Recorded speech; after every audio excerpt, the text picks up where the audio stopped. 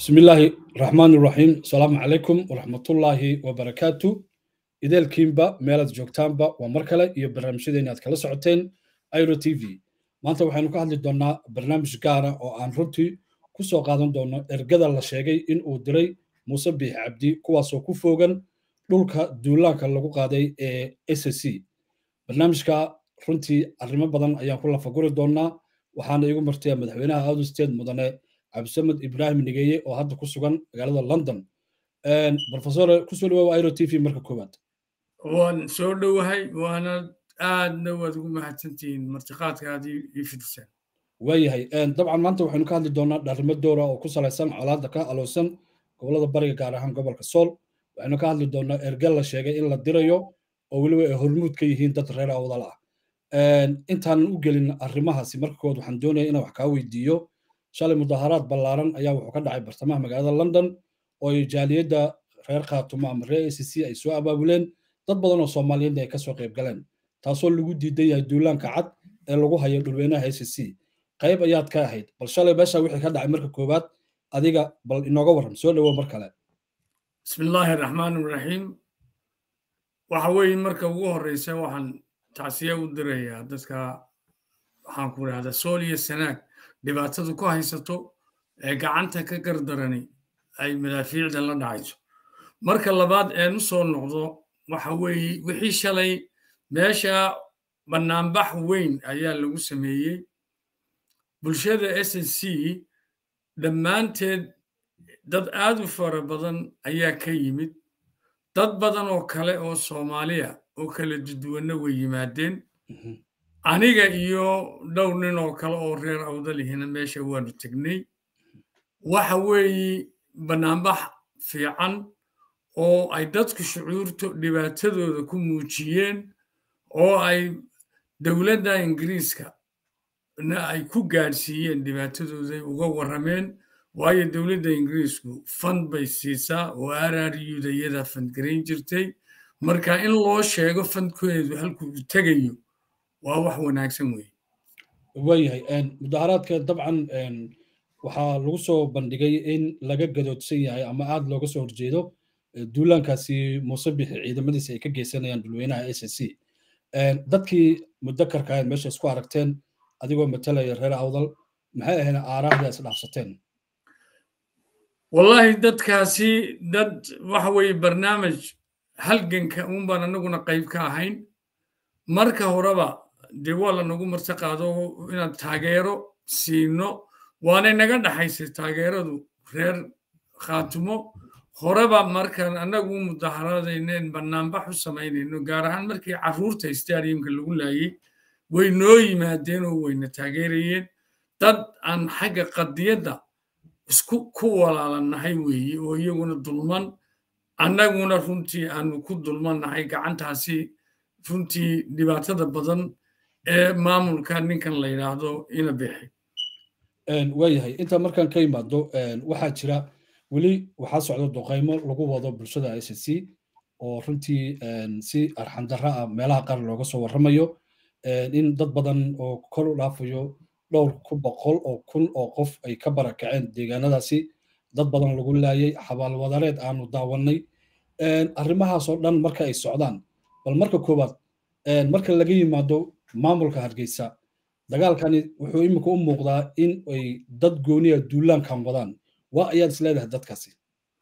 Wallahi maanta duulaankani wuu cad yahay. Waxa weeye ina bixi iyo bahdiisa oo la dagaalamayso barakicinayso oo dilayso oo maalin walba bam la dhacayso aan kala reebayn. Carruur iyo ciroole iyo nin iyo waayeel iyo dumar iyo rag aan cidnaba waaba yeelayn madfac madaafiic baa la soo ridayaa madaafiicdaasi oo madaafiic meelo muddada intaa leega dhowr iyo soddonka sannadooda la urursanayey waxa weeye dagaalku markaa wuxuu u dhexeeyaa bahdaasi iyo wuxuu u dhexeeyaa maxaan ku dhahdaa ummadda reer sool iyadu dembi lahayn ee madfaca lala dhacayo haddii beesha dhexaan u noqonno garxajis waxa kale oo jirta oo maalin walba nagu maqaala in ciidamada lafteeda wixii beelaha kalihii ay ka baxayaan. Hadday tahay annaga iskuba qadiyad baana iska daa ula tegno oo waxa weeye haddaanan maanta difaac walaalnimo u geysanaynin inaan afkayaga ka haysanno carruurtayadana aan u sheegna inay meesha ka baxaan weeyaan. Oo aanay dagaalkaasi baadilka ah ku dhimanin oo aanay if iyo aakhiraba ku seegin waayahay marka aad leedahay muuse iyo bahdiisa si dadku u fahmaan yaad ula jeedaa muuse iyo bahdiisa. Muuse iyo bahdiisu cid waliba way garanaysaa. Muuse iyo bahdiisu waxa weye isagaiyo inta la reera. Reerkiisuna waa caan. Hadday iskala reebayaan ma ogi anigu.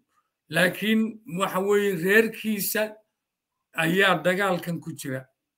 Reerkiisa ayaa dadkani damac uu damac hayaa wuxuu yahay aynaan garanayn.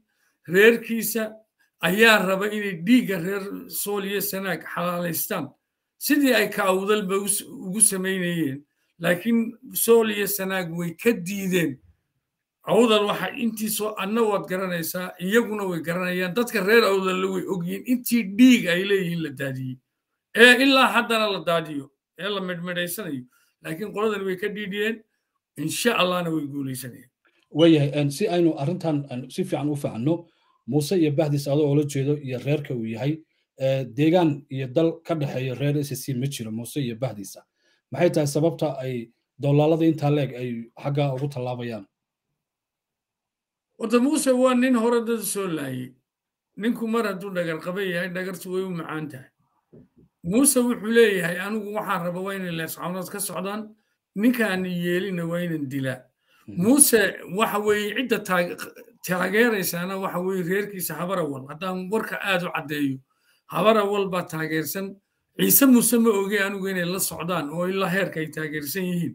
Laakiin sacad muuse oo dhani wuu taageersan yahay.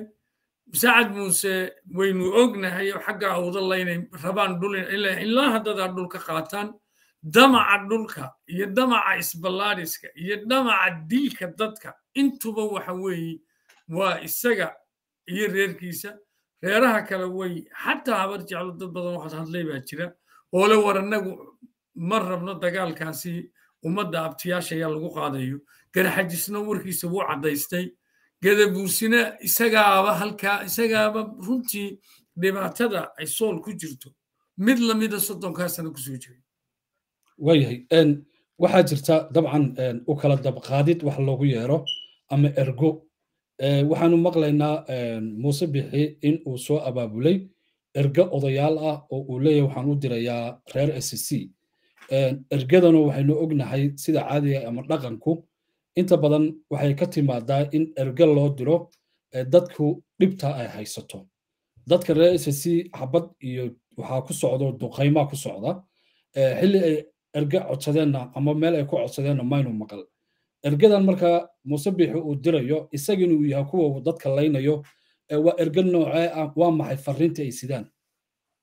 Horta waxaan daawaday suldaan suldaanadii bowramada ganaaya oo leh ergaan nahay. Laakiin maxaan ku idhaahdaa garaadyada cidinana lama soo xidhiidhin oo nama odhan noo kaale cidna lamaanaan xidhiidhin haddana waan tegaynaa oo erga ahaanba annagu waanu tegi. Waxa kaloon maqlayay sheekh. Sheekh reer awdala. Yani labadaba markaan labadaba waadixiyo midina waa waxa weeye waa dhowal. Midina waxa weeye ina sheekh cali jawhar cabdilaahi waxa weeye halkan anu waxaan dadka reer sool maanta waxa ku socda madfac iyo gantaal laba mid ergan loo dirayaana ma qabato markaa beesha dhexeba hadday garxajisba leeyahay annagu ergada ayna bixin ma raacayno. Ninka dhowale suldaanka ah ee maxaan ku idhaahdaa guddidan guddoomiyaha u hayle ee maalintii dadka masaakiinta ee jidka lagu googooyey googa iyo gobolladii bacda bacaha madow ku soo qaaday. Ee ninka shirqoolkaa ku jirayna ina biixi ahaa de hadda inuu caqli yeesho miyaanay ahay inuu garaad yeesho. Ta kale waxa weeye inuu yidhaahdo odhan kara weeye hadduu nin suldaana oo ummad ka wakiilo uu yahay inuu maya odhan kara sidaa garxajis buu leeyahy war anuu ma tegayo. Adaa dagaalka bilaabay madfac baad wadaa dadka waad la dhacaysaa madfac dee orad u teg adigu. Oo horta ciidankaaga iyo madaafiicdaada ka soo qaado dabadeed markaa annagana dir. Midda kale dee waan ognahay nin gadabuursiya oo reerkeenna ah oo suldaan sheegtaa inaanu maya odhan karin waxba. Hadda adoon maya odhan karin dadka masaakiinta la laynayo maxaad ka doonay adigoo aan moogtahay? Xataa shakhsiyaddii maya odhan karaysa aanan ahayn maxaad ka dooni? Ma waxaad amar uu ku siiyey ninkii mastarkaaga ahaa iyo maxaanku idhaahdaa jeebka yaroo lacaga ma intaasaad ku tegi. Dadku way dhimanayaan. Habeen iyo maalinba madfac baa ku socda. Ummadda aad leedahay suldaan baanu ahayna sharaf darraad u soo jiidaysaa haddii aad maanta wax noqotid oo halkaa aad wax ku noqotidna dee gadabuursi jacaylkii iyo iyo maxaanku dhaha fariin oo ku dirtay kumaa tegin. Wax allaaliyo wax gadabuursi qiimood ugu fadhii doontaa ma jirto meel la isku dilayo ha tegin. Haddaad tegto meel la isku dilayo. Gadabuursi kama socotid suldaanna kama tihid. Haddaad ku dhimatid adiga iyo haddaad ku guulaysatidba adigaa iskale waxaa kaloon intaa ku darayaa dadka reer sool waxay leeyihiin waar ha lanaga joojiyo. Isaga iyo sheekhaba waxay leeyihiin ha lanaga joojiyo intaadan intaadan intaadan u gelin xiriirkeedii dhex maray. Ergada sida caadaga ah waxaa lagu yaqaan sideedaba ummadda soomaaliyeed inay ergadu ay ixtiraamto. Ergaduna gobollada waqooyi waxay caan ku tahay in bulshada dhammaan gobollada degan ergada laga soo xulo oo ay sidaasi ku wada socdaan.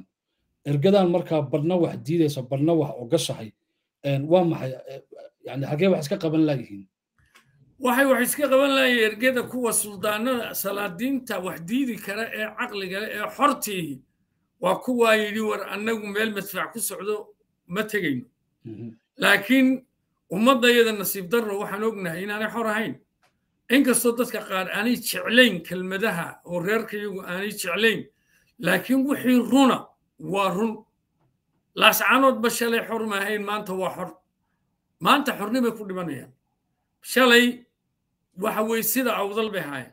Maanta sida awdal maaha. Waa xor. Ilmaha dhinta xornimo ku dhimanaya. Ma garatay iyagana waxaan leenahay waxbaa idiin kordhay ee wax idinkama dhicin ee adkaysta oo halkaa ka sii wada oo habeen idinka oo taagan oo xora dhinta. Waayahay waxaanu imanaynaa dhinacan awdal. Salaadiin badan baa jirta.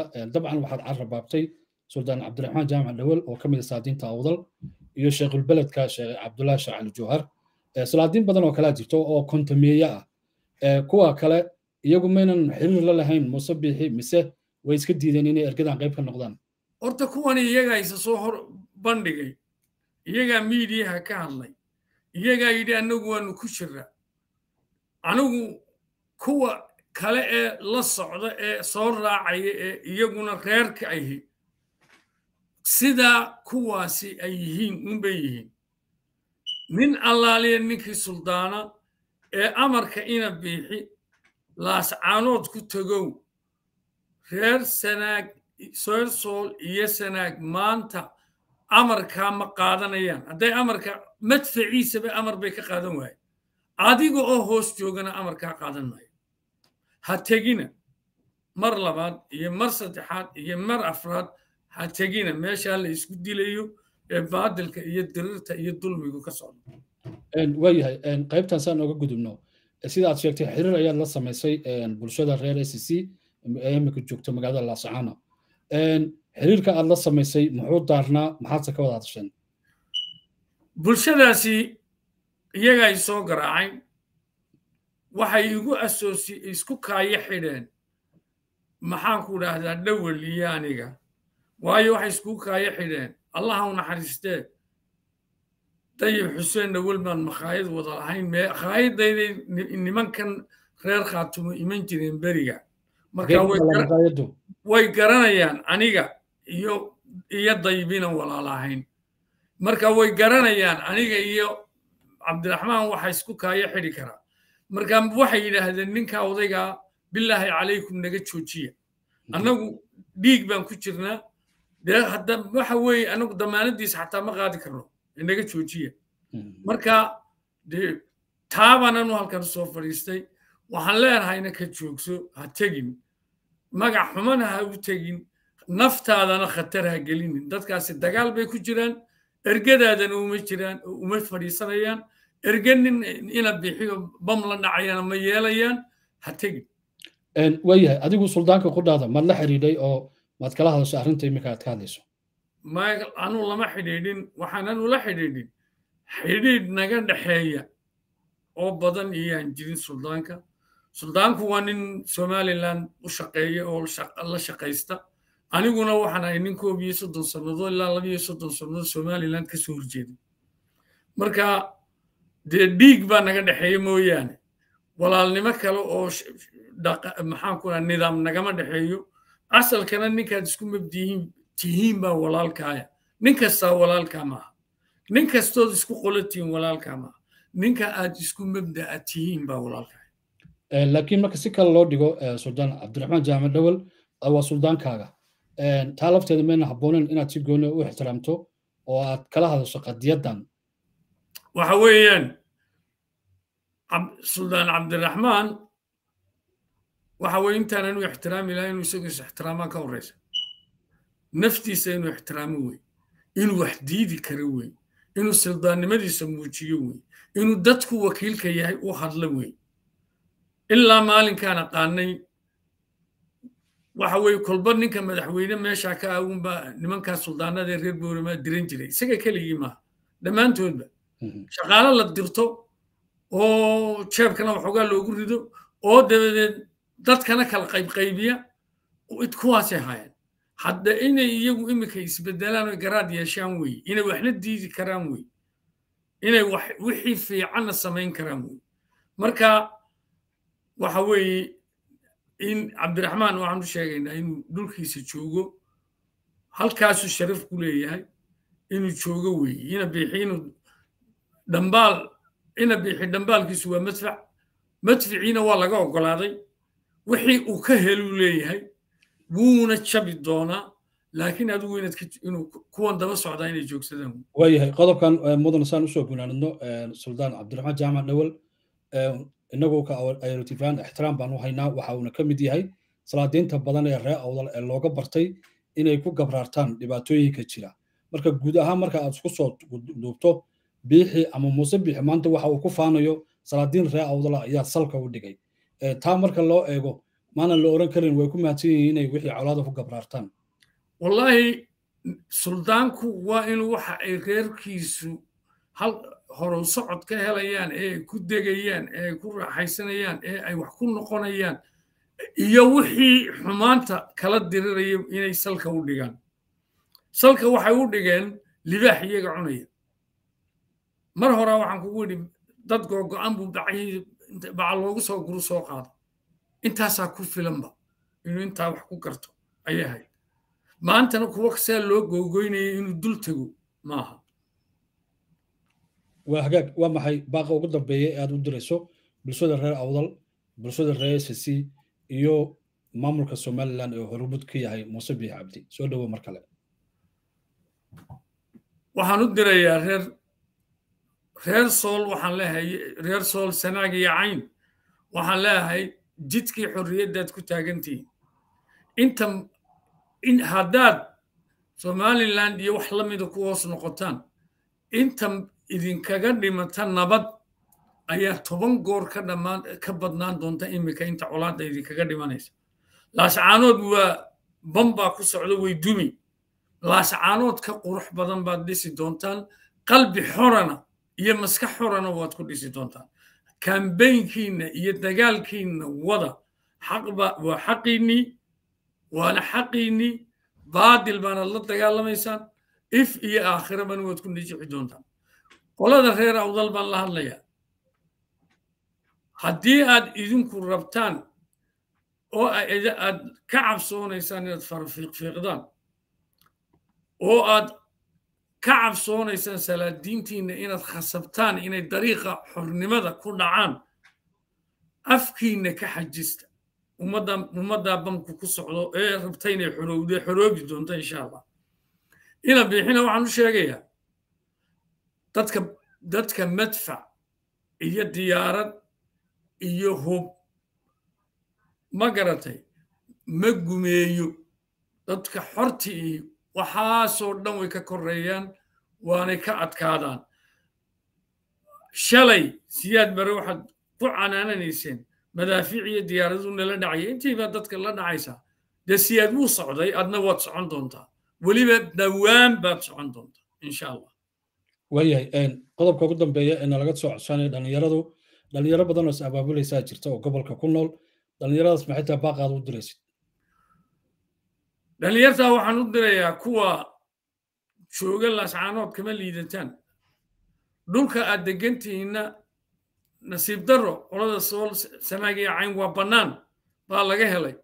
Dhulka aad degantihiin waa buuro waad ku dhumaalaysan kartaan waad isxorayn kartaan waad isxorayn kartaan u dhaqaaqa inaad isxoraysaan inaad in in maxaan ku dhahdaa muddo yaroo gaaban ood xanuunsataan oo hadhow tooliyana aad boqolaal sano xor ahaataan. Ayaa ayaa ka fiican inaad boqolaal sano gumaysi ku hoos jirtaan. Waa hagaag inta ayaan ku soo afmeeraynaa barnaamijkeeni gaadhka ahaa. Aynu kaga hadlaynay ergada la sheegay in loo dirayo dhulweynaha s c kuwaasi oo uu runtii soo tabantaabiyey muuse biixi ergadaas ay ku jiraan dad reer awdal oo halkan barnaamijka aad ka dhegaysateen barnaamijkan waxaa noogu marti ahaa madaxweynaha awsteed profesor cabdisamil ibrahim nigeeye airo t v wixii halkaa ka baxayo barnaamijka. Kama mas'uul ahaa waxay ku kooban tahay madaxweynaha iyo ra'yigiisa. Intaa ayaanu ku soo afmeeri doonaa barnaamijkeenna wixii tala iyo tusaale ahna waxaad noogu soo gudbin kartaan airo t v at gmail com. Mudane mar kale waxaan ku leenahay guulayso